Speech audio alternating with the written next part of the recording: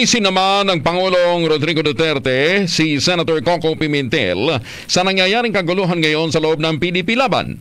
Sa kanyang talumpati sa National Assembly ng PDP Laban, sinabi ng Pangulo, hindi naging maayos ang pamamahala ni Pimentel sa partido, lalong-lalo na sa pagtatalaga ng mga opisyal na tila tinagubilinan lamang na maging opisyal ng partido. Sinabi pa ng Pangulo mismong si Pimentel ang nagsimula ng rokusa at uh, nagsimula talaga ang gusot ng gawin itong acting president si Senator Manny Pacquiao na wala namang alam at hindi nagbabasa. Si Pacquiao ang itinutulok ng grupo ni Pimentel na tumakbong presidente sa susunod na taon. You just do not push somebody there. O sige, ikaw na muna mag-presidente. That is not how things are done. By that singular act of just designating an acting president there is no law in the bylaws at saka itong constitution which would provide for a an acting president solely upon the push and shove of the president. Ang nagkamali dyan si ang nagkamali dyan si Coco, hindi si Pacquiao. Pacquiao does not know anything kung anong sabihin, totoo, kung ano man sabihin, hindi, hindi naman nagbabasa yan eh. Basta kung anong sabihin lang ng mga ano niya, sunod. Samantala, aminado si Pangulong Digong Duterte na ang PDP laban ay partido talaga ng mag-amang Coco Pimentel at dating Senate President Aquilino Nene Pimentel Jr. at ito ay kanyang kinikilala. Narito ang Pangulo especially Coco, ano, parang kanila talaga yan eh. At totoo naman. It was the, the founding uh, Pimentel, the old man who really, yung ginawa niya ito, is a work of love sa kanya. Pero ang problema, ang anak ang walang ano, walang diskarte na tama. I do not know what prompted him to just push uh, Pacquiao there ano, place an act, a place of acting president. You cannot have an acting president. You have to elect uh, people. Yung biglaan na ano doon. Doon nakawatak-wat. And I think uh, Welta pa ni Pangulong uh, Duterte kay Senator Coco Pimentel. Matagal na panahong uh, natutulog ang PDP laban hanggang sa biglang ah, magisito ng tumakbo siyang presidente sa ilalim na nasabing partido. Nartong muli ang Pangulong Duterte. Si Kokoy, and uh, may I just remind uh, Kokoy na itong parting PDP was asleep for a hundred years.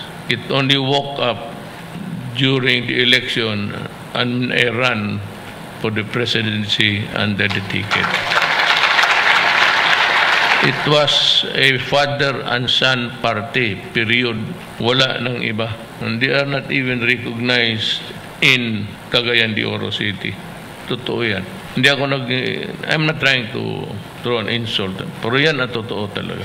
Hindi ka na twin, magtakbo ako kay baski barangay captain, talo yan sa kanila. Inamin naman ni Senator Coco Pimentel na nasaktan siya matapos na upakan ng Pangulong Duterte at sinisipa sa nangyayaring gusot sa Pilipi Laban. Ayon kay Pimentel, masakit palang mabanata ng taong tinulungan mo. Matatandaan na tumakbo at nanalo ang Pangulong Duterte sa 2016 presidential elections sa ilalim ng PDP Laban. Sa tingin ni Senator Pimentel, mali ang mga impormasyong nakakarating sa Pangulong Digong at sa dami ng problema ng bansa Kaya't nasasabi nito na hindi kinikilala sa Cagayan de Oro City ang kanilang pamilya. Ang malungkot lang ayon sa senador, patay na ang kanyang ama at hindi na nito maididepensa ang kanyang sarili mula sa mga banat ng Pangulong Duterte. Pangkaraniwan na lamang ang nagaganap na gusot ngayon sa mga partido katulad ng PDP Laban. Ito naman ang obserbasyon ng uh, political analyst na si UP Professor Clarita Carlos. Ayon kay Professor Carlos, natural lamang na maging uh, uso na na naman uh, ang mga balimbing o political butterfly habang papala- papalapit ang eleksyon. Narito si Professor Clarita Carlos. patalon-talon sila ng kanilang political party kung saan sila gwapo at whether ano their ambitions will be fulfilled uh, it's not new anymore no Uh-huh. Ah, natanda mo si Marcos hindi siya finiled ng party niya lumipat lang siya sa ano sa iba so ito si Pacquiao ngayon pang uh, kukupupin nung ah, isang bayan na coalition di ba Hindi exempted sa kaso o walang immunity from suit ang mga umuupong vice presidente ng bansa.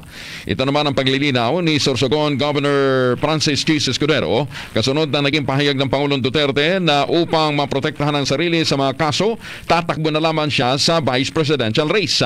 Ayon sa gobernador, nakasaad sa 1987 Constitution na may immunity sa demanda ang isang pangulo ng bansa.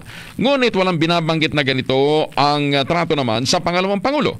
Ganito rin ang naging pahayag ni dating Supreme Court uh, Public Information Chief uh, Chodorte at Albay First District Representative Ed Selagman. Kasalukuyang naharap sa investigasyon ng International Criminal Court ang Pangulong Duterte dahil sa manoy crime against humanity dahil naman sa war on drugs. Maging ang National Union of People's Lawyers ay kinontra ang pahayag ni Paulong Digong Duterte na may immunity from suit ang vice-presidente ng bansa. Nilinaw ni NUPL President uh, Edre Olalia na tanging ang Pangulo ng Bansa ang may immunity from suit habang siya ay nasa kapangyarihan. Sabi ni Atty. Ulalia na ang mga sasalungat sa namagit na probisyon ay hindi lamang labag sa ating saligang batas kundi maging sa mga itinatadhana ng mga jurisprudence. Matatandaan sa kanyang talumpati sa National Assembly ng PDP Laban noong Sabado, hindi pati akong nagbibiro ang Paulong Duterte. Nang sabihin nito na ilang beses na siya ay tatakbong vice-presidente para magkaroon siya ng immunity from suit. Narito si Attorney Ulalia. Alam mo itong mga Ah, Pangulong Duterte. to, isigway ko na lang. They keep on threatening me with lawsuits uh, and everything. Uh, Trillanes and itong si Carpio and his elk. Eh, panay ang takot sa akin na mademanda ako. Uh, sabi ng batas na kung presidente ka, vice-presidenta ka, may immunity ka. Adi, tatakbo na lang ako ng vice-presidente. And after that, tatakbo ulit ako ng vice-presidente at vice-presidente at vice-presidente. Torme, natutuwa pa sana ako sa'yo dati. Unang offense mo, ang connection mo sa mga NPA, ay sa pagiging madrama mo at sa kunwari pagsasalita mo na para kang squatter, makakalimutan namin ang ties mo to Carlos Zarate and Jomas Season na kaibigan mo. Yan pa lang, traidor ka na. Kung makapagsalita ka, parang napaka-expert mo naman at being mayor. Really? The level of changes in Manila is the same level as Davao City? Really? Ganun ka naka-effective na mayor? But why are you so pure? Insecure to a woman that is the best mayor in the entire Philippines while you, a distant nobody compared to her. Just because sikat ka on social media, it doesn't mean you're a really great public servant. It just means you know how to pay for your airtime.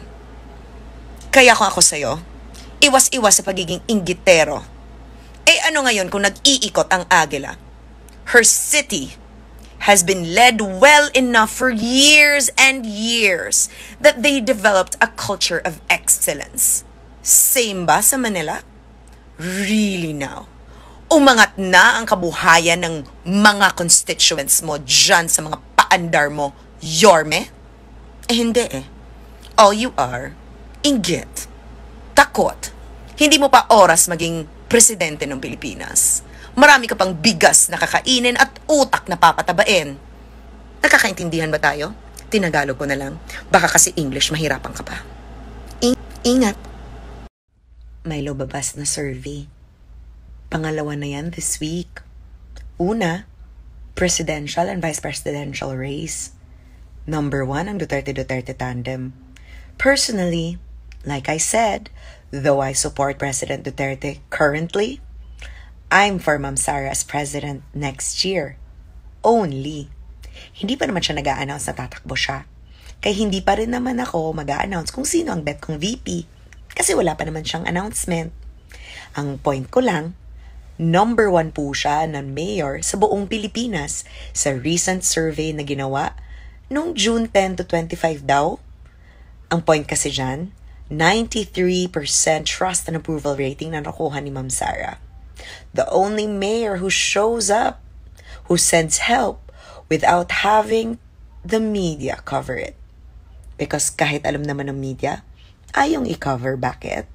Kasi it is not in their best interest to have another Duterte win in 2022. Pero yun nga naman, ang mga tinatawag niyong trolls will decide in the next elections. And guess what? There's millions of us. Ingat!